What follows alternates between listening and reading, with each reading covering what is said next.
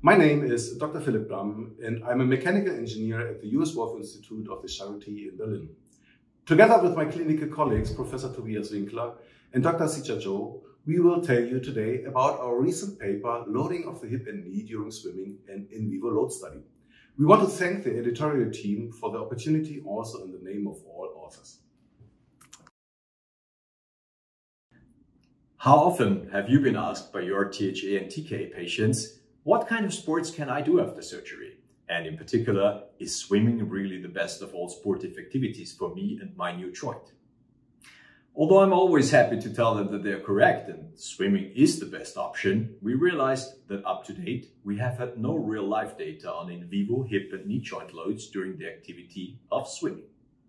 Therefore, we used the worldwide unique opportunity of a cohort of patients with instrumented hip and knee implants at the Charité in Berlin and looked at their in vivo joint loads while they were performing breast or crawl strokes at different speeds.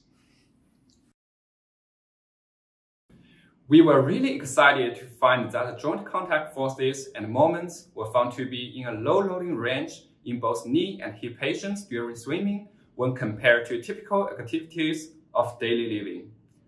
When compared with sportive activities such as cycling, golf, and hiking, swimming showed lower or similar maximum joint loads, supporting the safety of this sport. The frequent clinical suggestion to knee patients that crawl strokes lead to lower burden in the knee than breast strokes could partly be confirmed, showing higher medial forces in the latter. However, we found loads to be in general rather low, only little differences, meaning also breast swimming can be recommended, above all if patients are used to it. Also for hip patients, both swimming styles can be generally recommended as a rehabilitative activity.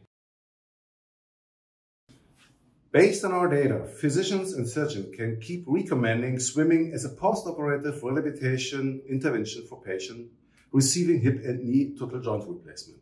We could show that swimming indeed is a safe and a low impact activity compared to other activities we also investigated. We invite all interested readers to visit our publicly available database www.orthoload.com of in vivo joint loads for different activities such as physiotherapy, rehabilitation, activities of daily living and sports.